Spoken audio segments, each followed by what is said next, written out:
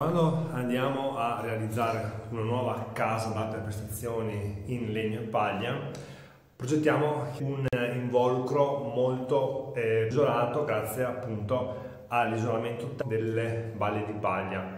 Ma come facciamo a dare garanzia e a controllare i risultati per quanto riguarda la temperatura, l'umidità e le sostanze nocive? Lo facciamo mentre la casa è abitata. Questo monitoraggio comprende la eh, temperatura, l'umidità, il rumore, perciò l'acustica e anche eh, eventuali sostanze volatili.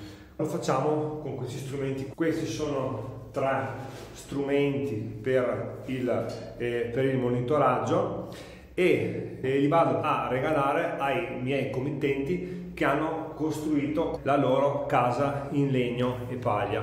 Questo è uno strumento che consente di eh, monitorare la qualità dell'aria, la temperatura e l'umidità ogni ora.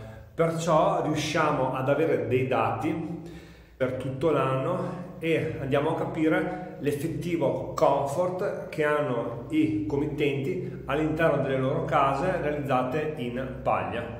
Ecco, questi sono tre stazioni per il monitoraggio della qualità dell'aria